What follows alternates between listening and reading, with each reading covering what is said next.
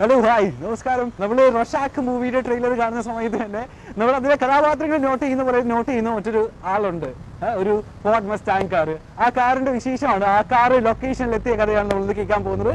And ആ കാറാണ് ദോ ഈ കാറ്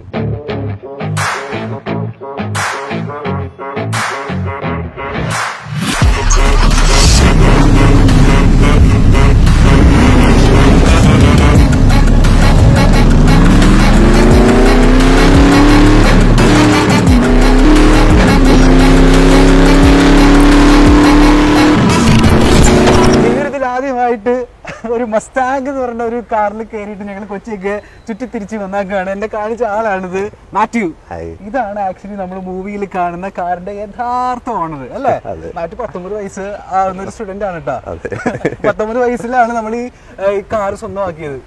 എങ്ങനെയാണ് നമ്മൾ ഈ മൂവിയിലേക്ക് ഈ മസ്താങ് കാർ എത്തിപ്പെട്ടത്? കഥ പറയോ? ആക്ച്വലി ഈ മമ്മൂട്ടി കമ്പനിയുടെ പ്രൊഡക്ഷൻ കൺട്രോളർ ഉണ്ടല്ലോ. പ്രശാന്ത് ഏട്ടൻ. പുള്ളി നമ്മുടെ ഫ്രണ്ട് ആയിരുന്നു. അപ്പൊ പുള്ളി ഇങ്ങനെ പറഞ്ഞു റൊഷാക്ക് എന്ന് പറയുന്ന ഒരു മൂവി വരുന്നുണ്ട്. അപ്പം ഇതേപോലെ ഒരു വണ്ടിയുടെ റിക്വയർമെന്റ് ഉണ്ട്. നിന്റെ വണ്ടി കൊണ്ടുവരാൻ പറ്റുമെന്ന് ചോദിച്ചു. ഒബ്വിയസ്ലി മമ്മൂക്കയുടെ സിനിമ നേട്ടപ്പം എല്ലാരെ പോലെ ഓക്കെ ഓക്കെ അപ്പൊ അങ്ങനെയാണ് ആ ലൊക്കേഷനിൽ എത്തിപ്പറ്റിയത്. ഓക്കെ ഈ പത്തൊമ്പത് വയസ്സുള്ളൂ. പത്തൊമ്പത് എനിക്ക് തോന്നുന്നു ബ്രദർ ഗിഫ്റ്റ് ചെയ്തതാണ് ബർത്ത്ഡേ അതെ, 18th birthday ക്ക് brother gift ചെയ്തതാ. ഒരുപാട് സിനിമകളിൽ നിന്ന് ഓഫർ വന്നിട്ടുണ്ട് ഈ കാർ കൊടുക്കുമെന്ന് ചോദിച്ചിട്ട്. പക്ഷെ കൊടുത്തിട്ടില്ല. ഇല്ല. പിന്നെ ഒള്ളി ബിക്കോസ് ഈ സിനിമയിലേക്ക് ഈ കാർ കൊടുത്തത് എന്താന്ന് ചോദിച്ചു കഴിഞ്ഞാൽ അതിന് ഒറ്റ കാറിനുള്ള ഒറ്റ പേരുള്ളൂ. മമ്മൂക്ക. മമ്മൂക്ക. മമ്മൂക്കയുടെ മൂവി ആയതുകൊണ്ട് മാത്രമാണ് കൊടുത്തത്. മമ്മൂക്കയെ അത്രയും ഇഷ്ടമായിരുന്നു? അതെ അതെ.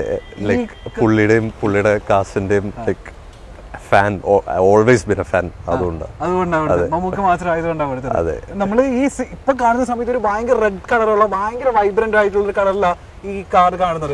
സിനിമയിൽ അങ്ങനെ ഒന്നും അല്ല കാണുന്നത്. വേറെ ഒരു കളറിൽ ഇച്ചിരി ഡാർക്ക് ഷെയ്ഡ് ഉള്ള ഒരു കളറിലാണ് കാരണം സിനിമയിൽ? ഡയറക്ടറിന് ഇത് ഭയങ്കര ഒരു ഷെയ്ഡി ഔട്ട്ലുക്ക് വേണമെന്നുണ്ടായിരുന്നു. അപ്പം ഈ റെഡ് ഭയങ്കര ബ്രൈറ്റ് കളറല്ലേ അപ്പം നമ്മളതൊരു ഭയങ്കര മാറ്റ് ഫിനിഷ് ഉള്ള ഒരു ഗ്രേ കളറിലേക്ക് വണ്ടി റാപ്പ് ചെയ്തു. പിന്നെ അതിനകത്ത് നമ്മൾ കുറച്ച് ഡാമേജസ് ഒക്കെ വരുത്തിയിട്ടുണ്ട്. ആ ട്രെയിലറിൽ കാണാമല്ലോ ആദ്യമേ തന്നെ ഒരു ആക്സിഡന്റ് സീനിലാണല്ലോ തുടങ്ങുന്നത്. അപ്പം അതൊക്കെ ആർട്ട് വർക്കാണ് ആക്ച്വലി ഈ വണ്ടിയുടെ ഒറിജിനൽ പാർട്സ് എല്ലാം നമ്മൾ റിമൂവ് ചെയ്ത് മാറ്റി. എന്നിട്ട് നമ്മുടെ ആർട്ട് ടീം അവർ ശരിക്ക് കഷ്ടപ്പെട്ടു. ലൈക്ക് ആ ഒരു സീൻ അത്രയും ഒറിജിനൽ ആയിട്ട് ആ. ഒരു ഒറിജിനാലിറ്റി കൊണ്ടുവരാനായിട്ട് സിനിമയുടെ ഒരു ട്രെയിലറിലൊക്കെ നമ്മൾ കാണുന്നുണ്ട്. ഇതിന്റെ ഗ്ലാസ് ഒക്കെ പൊട്ടിക്കിടക്കുന്നത് അതെ, അതെ. ശരിക്കും ഗ്ലാസ് പൊട്ടിച്ചാ? അല്ല? അല്ല അത് പൊട്ടിച്ചതല്ല. അത് ആക്ച്വലി ഈ സീൻ നമ്മുടെ അടുത്ത് ഡയറക്ടർ പറഞ്ഞിട്ടുണ്ടായിരുന്നു. ഇങ്ങനെ ഒരു ആക്സിഡന്റ് സീനാണ് പക്ഷേ ഇതെല്ലാം കഴിഞ്ഞ് ആർട്ട് വർക്ക് ഒക്കെ കഴിഞ്ഞ് നമ്മൾ നേരിട്ട് കണ്ടപ്പം ശരിക്കും വിഷമം വന്നു. പറഞ്ഞപ്പോൾ അത് പെട്ടെന്ന് പോയി. പക്ഷെ നേരിട്ട് കണ്ടപ്പം വല്ലാത്തൊരു സങ്കടം വന്നു. വണ്ടി ഇഷ്ടപ്പെടുന്ന ഏതൊരാളും വണ്ടി ആ കണ്ടീഷനിൽ കാണുമ്പോൾ സങ്കടം വരും. പക്ഷേ അത് റിയൽ അല്ല എന്നറിയാവുന്നതുകൊണ്ട് മനസ്സിലൊരു ആശ്വാസം. ഉണ്ടായിരുന്നു. ഇതിൽ എന്തായാലും ഞങ്ങൾ കഴിഞ്ഞ ദിവസം ഈ- ക്രൂവിന് ഇന്റർവ്യൂ ചെയ്തപ്പോൾ അവർ പറയുന്നുണ്ടായിരുന്നേ നമ്മൾ ഈ കാറ് ലൊക്കേഷനിൽ കൊണ്ട് ചെന്ന് നിർത്തിയ സമയത്ത് എല്ലാവരും വന്ന് ഫോട്ടോ എടുക്കുന്നു. അവർക്കൊക്കെ കാണാൻ ഭയങ്കര എക്സൈറ്റഡ് ആയിരുന്നു. പക്ഷെ ഇത് കഴിഞ്ഞതിന് ശേഷം ഇവർ മോഡിഫിക്കേഷൻ വരുത്തിയല്ലോ. അതായത് നമ്മളുടെ റാപ്പ് ഒക്കെ ചെയ്ത് മാറ്റിയ സമയത്ത് ക്രൂ മെമ്പേഴ്സ് ആയിട്ടുള്ള ആക്ടേഴ്സിന് പോലും ഭയങ്കര സങ്കടം വന്നത്ര. അതെ വണ്ടി ഇഷ്ടപ്പെടുന്ന ഏതൊരാൾക്കും സങ്കടം വരും വണ്ടി ആ അവസ്ഥയിൽ കണ്ടു കഴിഞ്ഞാൽ. കാരണം ഒരു ഇവിടെ ഫുൾ ഒരു ഇടി കിട്ടിയ പോലെ ഒരു ആക്സിഡന്റ് സീനെ ക്രിയേറ്റ് ചെയ്തിരുന്നത്. അപ്പോൾ വേറെ പാർട്സ് ഒക്കെ യൂസ് ചെയ്ത് അത് ചളുക്കിയിട്ട് ഹെഡ്ലൈറ്റ് പൊട്ടിച്ചൊക്കെ ഇട്ടിട്ടാണ് ആ സീൻ ക്രിയേറ്റ് ചെയ്തേക്കുന്നത്. ഇപ്പൊ തന്നെ ആൾക്കാർ ഒരുപാട് നോട്ടീസ് ചെയ്യുന്നുണ്ട് റോട്ടിൽ കൂടെ കാർ പോകുന്ന സമയത്ത്. ഇനി മുതൽ എനിക്ക് തോന്നുന്നു സിനിമ റിലീസ് ആയതിനു ശേഷം കുറച്ചുകൂടെ ആൾക്കാർക്ക് ശ്രദ്ധ വരുമായിരിക്കും നമ്മളെ പോലെ തന്നെ ഭയങ്കര കാറിലൊക്കെ ഭയങ്കര അപ്ഡേറ്റഡ് ആണ് മമ്മൂക്ക. ഒരുപാട് കാർ കളക്ഷൻ ഉള്ള ആളാണ് മമ്മൂക്ക.